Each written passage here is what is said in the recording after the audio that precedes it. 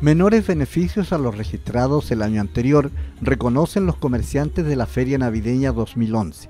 Los altos costos y la demora del concesionario en tener las instalaciones listas para la inauguración atentaron contra las ganancias esperadas. Eh, prometió una cosa y después no, no cumplió. Así la, la feria se, inauguró como el, el, 14, el 13, por ahí se inauguró la feria. Y él, él dijo que se inauguraba el 8. Entonces, y lamentablemente este año no estuvieron buenas las ventas porque yo creo que más que todo por, por las tiendas, la multitienda, eso es los que los quita mucha venta nosotros.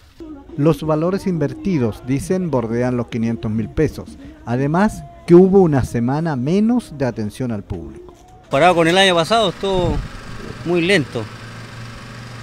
Se estaba recuperando a poco, pero el año pasado, digamos, fue mucho mejor. Este año creo que a la mayoría le fue mal. ¿Hasta cuándo Nosotros tenemos plazo de irlo hasta acá hasta el 31 de diciembre. Buena, buena como todos los años, pues según con la atención que uno tenga con la gente nomás.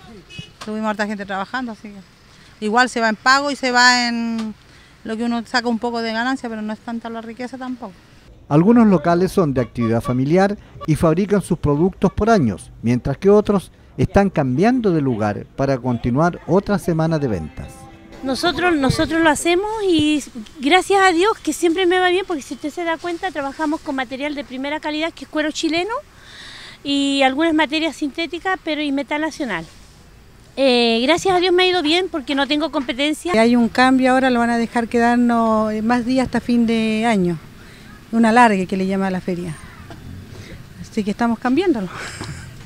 ¿Cómo le fue en esta feria? Sí, bien, gracias a Dios. Bien, pues harto sacrificado, pero no queda otra que trabajar. Más o menos no. A comparación de otro año, no pasa.